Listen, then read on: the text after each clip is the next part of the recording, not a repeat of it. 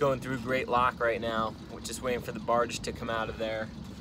I'm gonna go in and get locked up or down. I don't know what direction we're going today.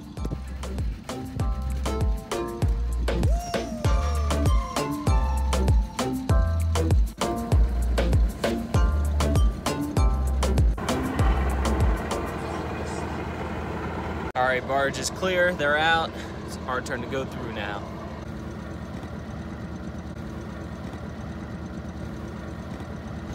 We're on the wall, we got some fenders out, we got some long lines out. We're going down like two foot, he said.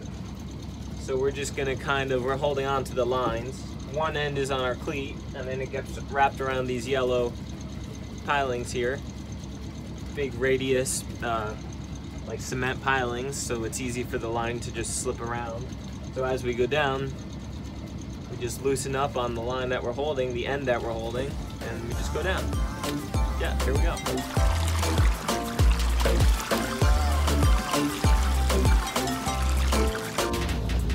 Piece of cake.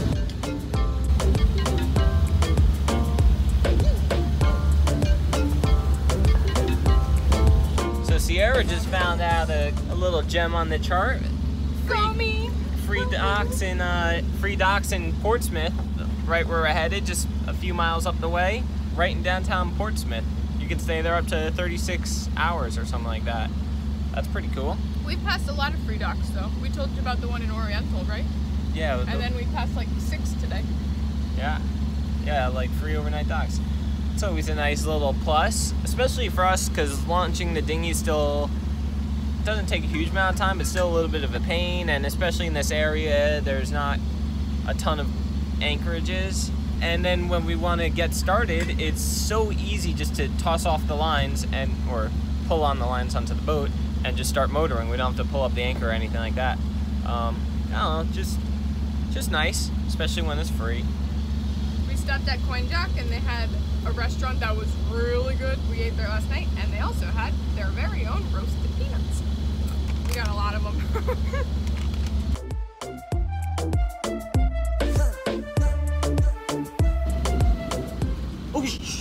shoot! Tell him, Jetty. How close were we? Gilmerton Bridge, adrenaline is all clear, thank you. Have a nice day, Ken.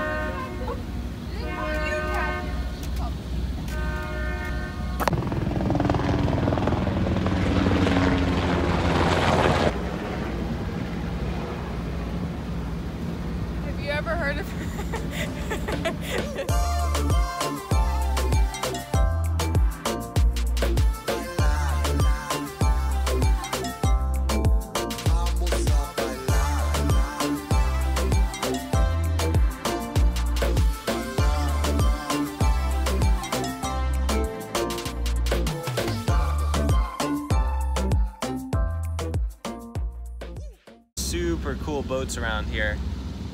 These really cool boats over here.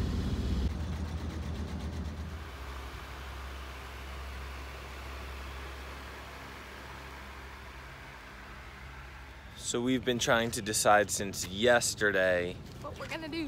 what we're doing. We're either gonna go up the Chesapeake and down the Delaware or out in the ocean all the way to either Ocean City or Lewes. I've never taken the ocean route around this area before, and so far this will be the fourth time going taking the Chesapeake and Delaware route. It's cool, especially because Annapolis is up there, but it's just longer. It's like two or three extra days. Uh, that's really the only disadvantage, right?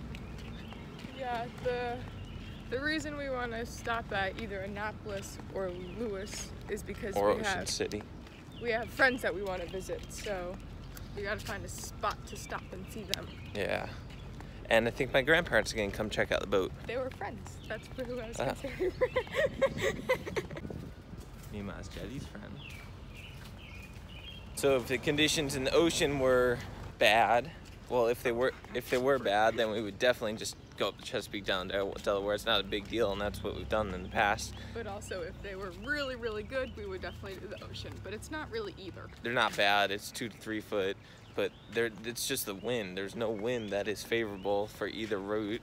it's just light and variable for the next couple days and So we figured if it was going to be light and variable, we might as well have it be light and variable and be flat-ish. Although the roughest water we've ever been in was in the Delaware. Yeah.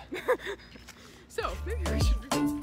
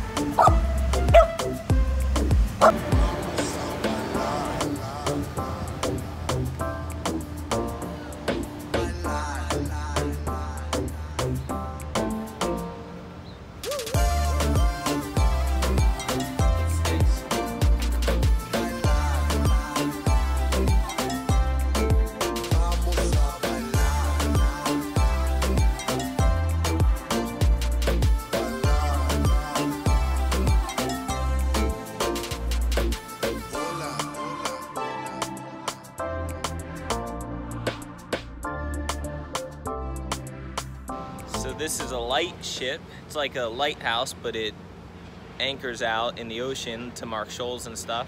And we saw one in Lewes, Delaware last year. Do you remember what the name of that one was? No, but it was like very well done and set up and everything. Forget the name of that one. There's one in New York City, and that might be the one that was anchored off in Nantucket. I don't know. They're around the country. They're pretty cool. That's the light.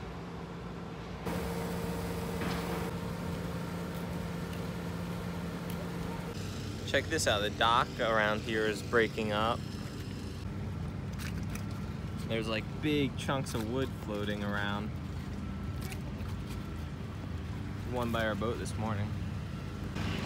I must say that Portsmouth like wasn't even on our radar as like a place to go or see or anything But it's pretty cool. until we saw that free the free dock over here. Yeah, and then we went for a run yesterday and walked around today. And it is a cool little town. Definitely some history and really neat historic houses and buildings and stuff like that. And all the cool ships behind us. Sure, sure. all the Navy ships are doing work on. Definitely some spots that are just a little bit run down, like this dock here. But they're working on Yeah, they're working on it, closed for repairs, but overall it's pretty clean, clean, nice town. Right on the other side of that, build, that building there is Norfolk, um, their waterfront, and you can take these water taxis here across to Norfolk. So I think we finally made our decision. We're going up the Chesapeake and down the Delaware. Again, we might change our minds. I don't know. I'll be looking at the weather and wind as we Leave. head 10 miles out to the mouth of the Chesapeake. But yeah, for now, going up the bay and down the bay.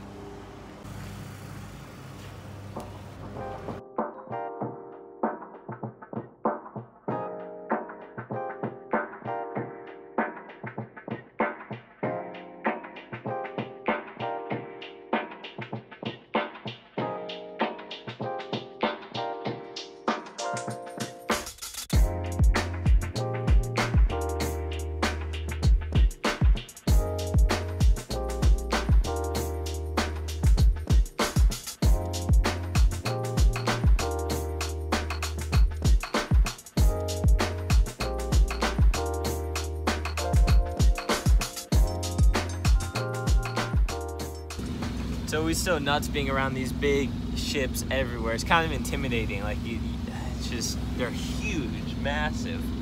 Those things, and just so many different kinds too. Like Army Corps en- engineer work boat up here. We got a bunch of little Coast Guard boats flying around. It looks like they're hanging out. It looks like a big Navy ship might be coming in. So we might get to check that out. That'll be pretty cool, along with another like freighter type boat. Just trying not to get run down by these huge barges behind me.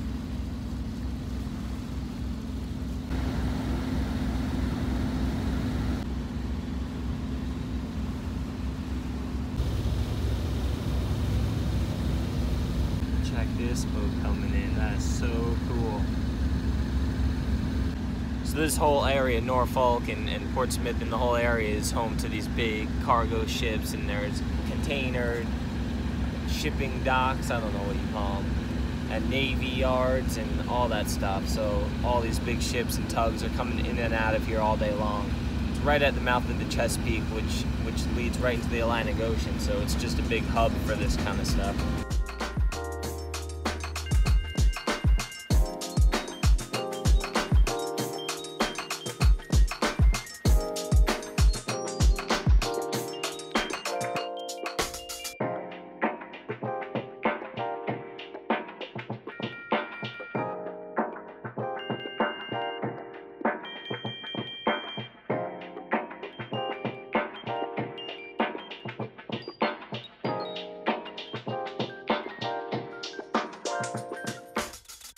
Like secured in there with barriers so so you can't get in there with the boat. Check this out, submarine up here.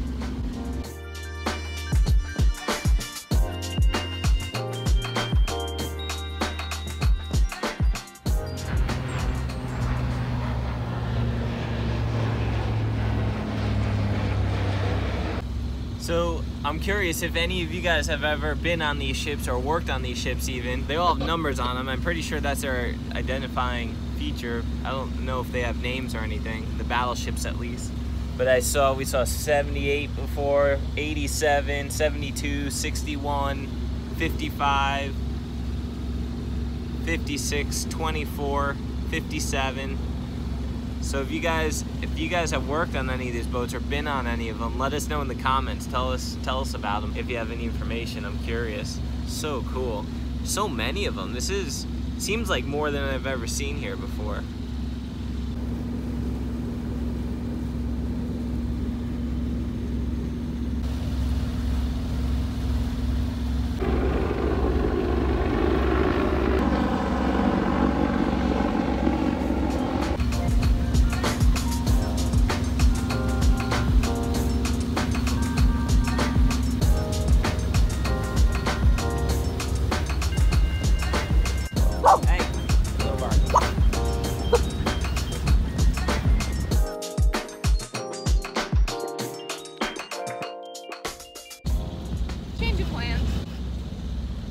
Decided to change our minds and we're gonna go ocean to Lewes, Delaware, instead of up the Chesapeake and down the Delaware.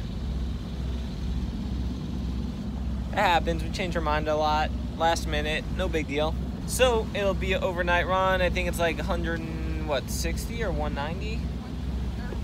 130? No, that was to Ocean City, wasn't it? 130, 140 miles, something like that. Not too bad. Be there tomorrow.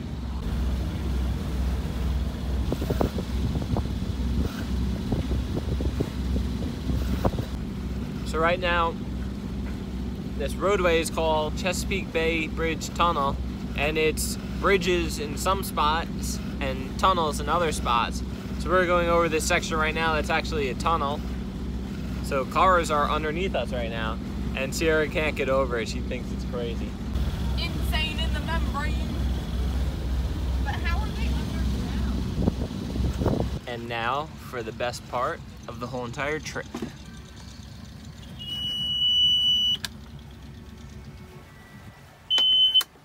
Ah. It's in reverse, so the props feather. All good. And the hood Cheers. So the wind actually turned out to be better than we thought it was going to be it's it's light, but it's perfect. It's like 10 to 12 knots, uh, a little more southeast than we, we thought it was going to be more south, but it's a little more southeast. So we're on a beam reach and we're cruising like between six and eight knots. Perfect conditions. Flat flat seas, maybe like a two foot longer period swell, but super comfortable. Knock on wood. Really nice sailing.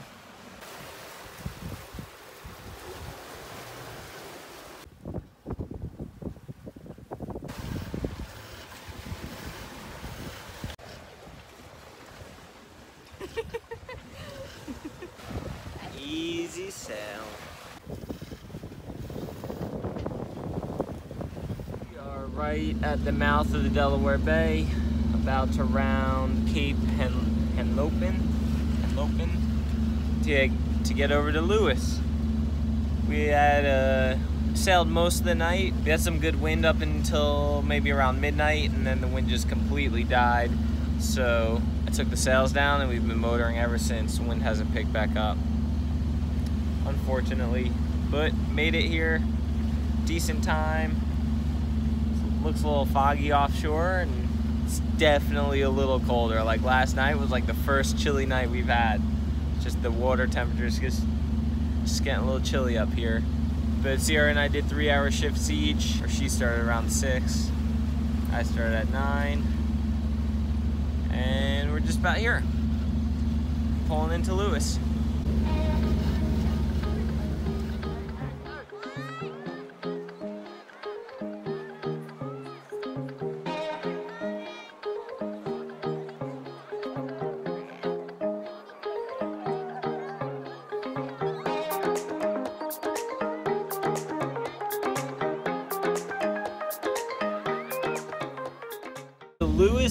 Another one of the spots that wasn't really on our radar ever. Never really like heard about a lot of people going to it like as cruisers. I'm sure a lot of people in Delaware come here as like their summer vacation or like it's it's a beach town.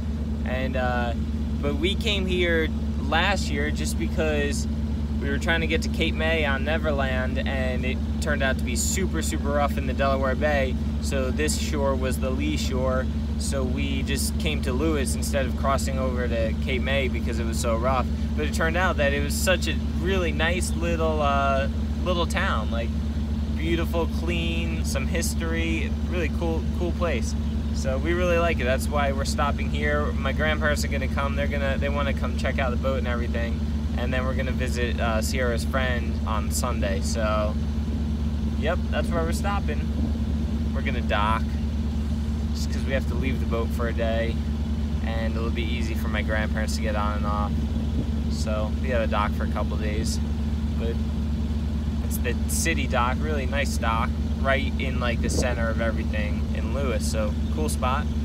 It smells like spring, like that fresh, fresh cut grass and the marsh plants and the flowers. It, it, it we didn't really start to get that spring smell until when did we start getting that spring smell? Like North Carolina, northern North Carolina or Virginia. Then we actually actually got that you know that smell of fresh cut grass. But it's kind of interesting the different besides the different scenery that we see, different smells we get up and down the coast. And that smell is just so familiar to me because growing up in Long Island, that was like that was the springtime smell.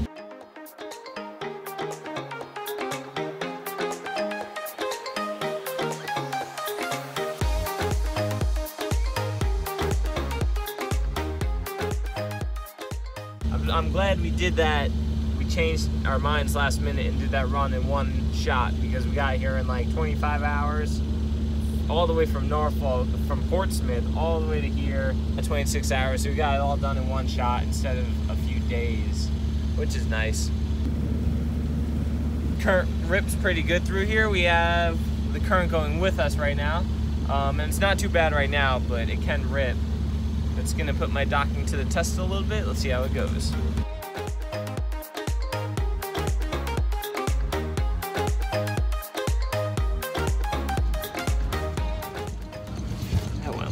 Way smoother than I thought.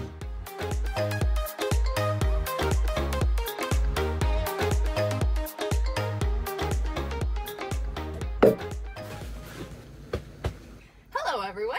Thank you, as always, for watching our videos. I'm just here to tell you a couple things that we have new in our Tula shop. We designed a stainless steel water bottle with our logo on it. We know how big of an issue plastic is in the ocean, on the beaches, so we wanted to give you an, an alternative alternative option which is here now. Um, keeps ice cold for over 12 hours, which is awesome because we don't have an ice maker and I love cold water. Also keeps stuff hot, so it's a great bottle. And we also came out with a cutlery set, bamboo reusable cutlery set. So if you do a lot of takeout, eat on the go, this is great. You don't have to use the plastic, non-recyclable silverware anymore.